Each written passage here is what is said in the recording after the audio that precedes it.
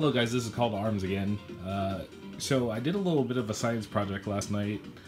Uh, someone was talking about having the FLF collar on uh, a traditional Korean stick with the Golden Fanta mod, and I thought it would be an interesting thing to do, and I actually came back with results that were quite surprising. So uh, let me go ahead and help you help myself explain explain this anomaly that happened. So over here, you have the seven millimeter shaft, and then I put the 14.5 millimeter uh, 14.5 millimeter actuator underneath it. And then here's what exactly happened.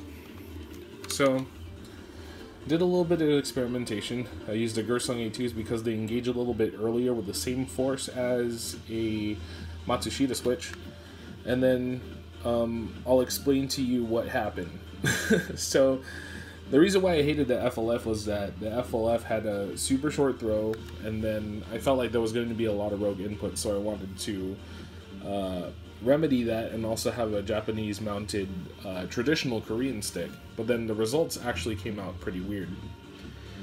So, looking at this right here, you can see that there's a square underneath here, and then th this is not just for this stick. It's actually for every uh, every Korean stick that you see. It does have a essentially a square in there just so you could easily hit your diagonals.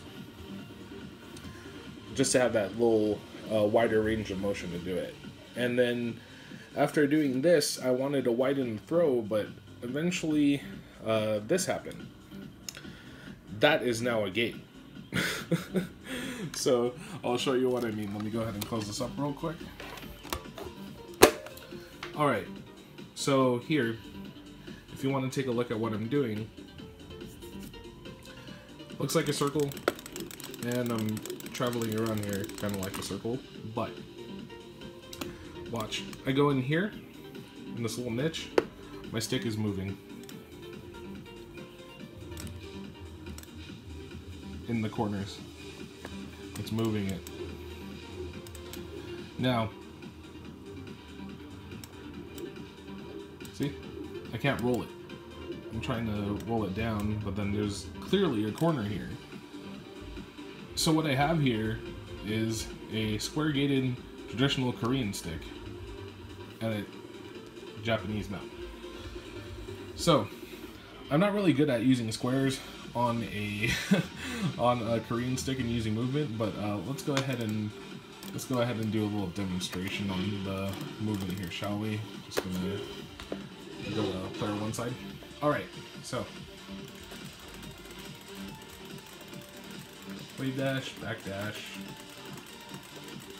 It's actually not too bad. I was trying it out um, last night, and then I was able to come up with some pretty decent results.